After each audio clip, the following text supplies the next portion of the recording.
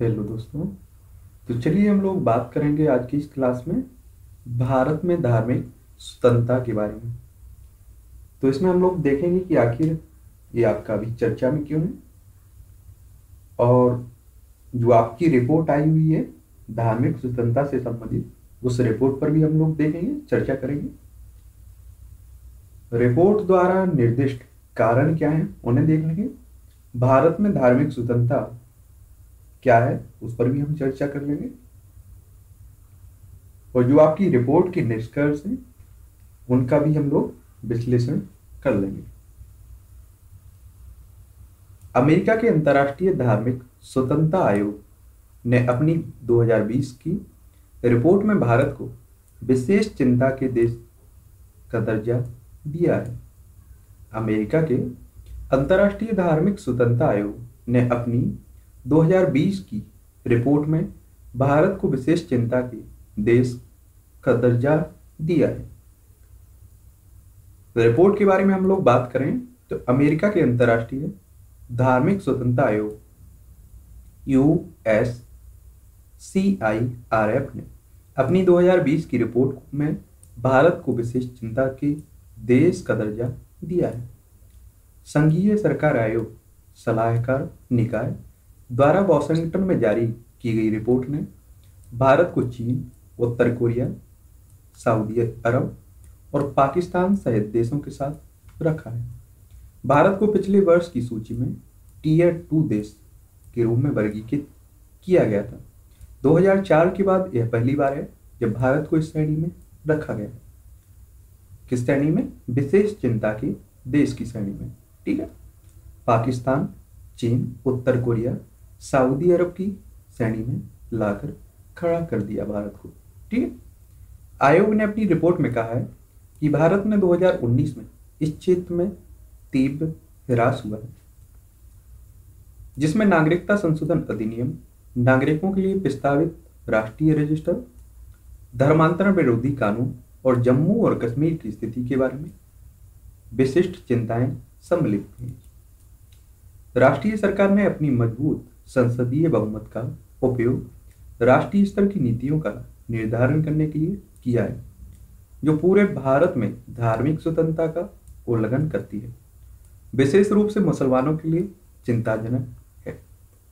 Panel ने कहा है कि भारत को यह श्रेणी इसलिए प्रदत्त की गई क्योंकि राष्ट्रीय और विभिन्न राज्य सरकारों ने धार्मिक अल्पसंख्यकों के खिलाफ उत्पीड़न और हिंसा के राष्ट्रव्यापी अभियानों को जारी रखने की अनुमति दी थी और उनके खिलाफ हिंसा करने और नफरत फैलाने और अपमानित करने के लिए प्रयोजन किए गए। आयोग ने यह भी अनुशंसा की है कि अमेरिकी सरकार अंतर्राष्ट्रीय धार्मिक स्वतंत्रता अधिनियम के तहत भारत के खिलाफ कड़ी कार्रवाई करे।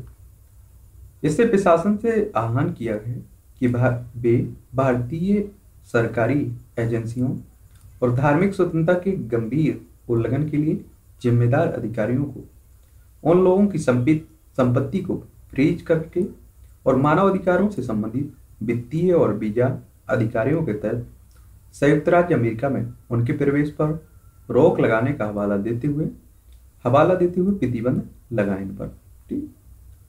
U S C I R दो की रिपोर्ट में गृह मंत्री अमित शाह का देश में भीड़ भाड़ के मामलों को रोकने के लिए पर्याप्त कार्रवाई के रूप में नहीं लिया गया है और प्रवासियों को दीमक के रूप में संदर्भित करने के लिए एक विशिष्ट उल्लेख करती है।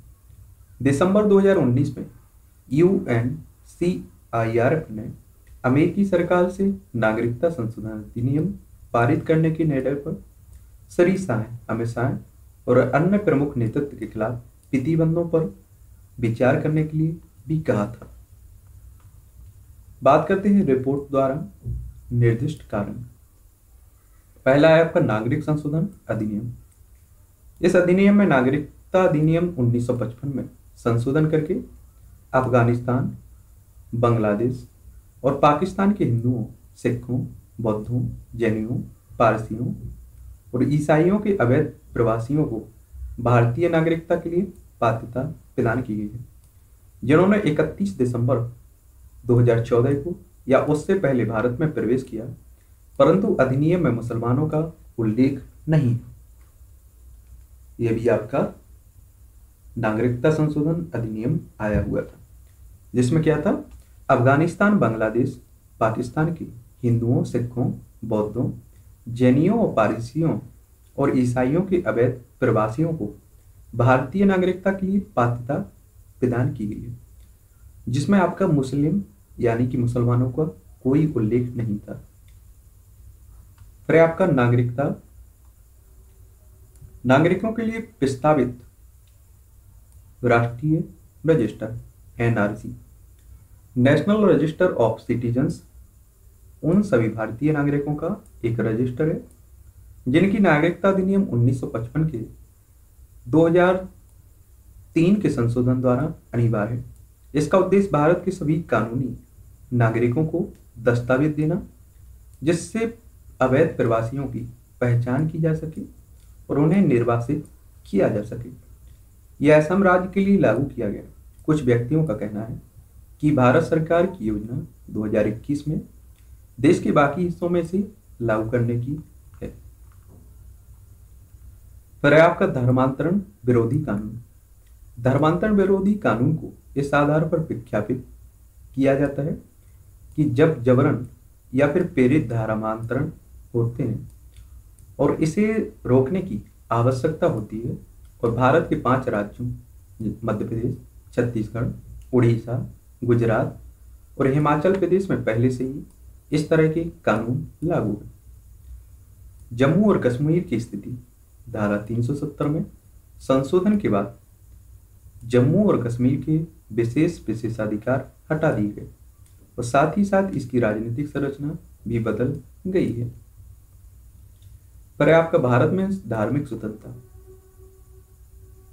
भारत भारत में आपकी धार्मिक स्वतंत्रता के प्रावधानों की बात करें तो अनुच्छेद आर्टिकल 25 अनुच्छेद 25 इस भाग के अन्य प्रावधानों के अधीन सभी व्यक्ति समान रूप से अंतरात्मा की स्वतंत्रता और धर्म के, का विचार, अभ्यास और विचार करने के लिए स्वतंत्र रूप से अधिकारी हैं। उन्हें अधिकार मिला हुआ है। इस लेख में कुछ भी सार्वजनिक व्यवस्थाएँ, नैतिकता और स्वास्थ्य से संबंधित विषयों पर विधि मौजूदा कानून के संचालन को प्रभावित नहीं करेगा या राज्य को कोई विधि निर्माण से नहीं रोकेगा। टू ए किसी भी आर्थिक, वित्तीय, राजनीतिक या फिर अन्य धर्म निरपेक्ष गतिविधियों को विनियमित या सीमित करना जो धार्मिक अभ्यास से जुड़ा हो सकता है। टू बी, सामाजिक कल्याण और सुधार के लिए प्रदान करना या हिंदुओं के सभी वर्गों और वर्गों के लिए एक सार्वजनिक चरित्र के हिंदू धार्मिक संस्थानों को खोलना स्पष्टीकरण प्रथम, कृपाण धारण, सिख धर्म के अनिवार्य अभ्यास में शामिल माना जाएगा। स्पष्टीकरण द्वितीय। सिखों, जैन या बौद्ध धर्म को मानने वाले व्यक्तियों के संदर्भ में खंड, खा में प्रयुक्त हिंदू शब्द माना जाएगा। पर्याप्त का अनिवार्य धार्मिक अभ्यास के सिद्धांत। सर्वोच्च न्यायालय की सात न्यायाधीशों की खंडपीठ ने उन्नीस में सीर, रूर, मठ मामले में धर्म के अनिवार्यता के सिद्धांत को प्रतिपादित किया। न्यायालय ने माना कि धर्म शब्द सभी धर्मों और प्रथाओं को एक धर्म में अभिन्न रूप से कवर करेगा। किसी धर्म की आवश्यकता और गैर आवश्यक प्रथाओं को निर्धारित करने का उत्तरदायित्व न्यायालय का होगा। फिर आपका आर्टिकल 26 यानी कि अनुच्छेद 26 सार्वजनिक व्यवस्था, नैतिकता और स्वास्थ्य के अधीन प्रत्येक धार्मिक संप्रदाय या उसके किसी भी वर्ग को अधिकार होगा। धार्मिक और धर्मार्थ उद्देश्यों के लिए संस्थानों की स्थापना और रखरखाव। धर्म के मामलों में अपने मामलों का प्रबंधन करने के लिए। चल और अचल संपत्ति का स्वामित्व और अधिग्रहण करने के लिए। विधि के अनुसार ऐसी संपत्ति का शासन करना। अब हम लोग बात करते हैं रिपोर्ट के निष्कर्षों निष्कर्षों का विश्लेषण। जो इस रिपोर्ट के निष्कर्ष हैं, उनका विश्लेषण करते हैं। भारत ने इस कदम पर कड़ा विरोध दर्ज किया है, क्योंकि यह सभी मुद्दे भारतीय संसदीय प्रक्रिया का पालन कर रहे हैं, तथा भारतीय संप्रभुता के मानक हैं। भारत में कई प्रावधान हैं, जो धार्मिक स्वतंत्रता को प्रदर्शित करते हैं। यथा अनुच्छेद चौदह, पंद्रह, सोलह, पच्चीस, छब्बीस उनतीस तीस।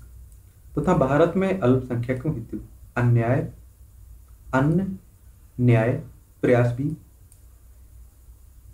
किए गए हैं।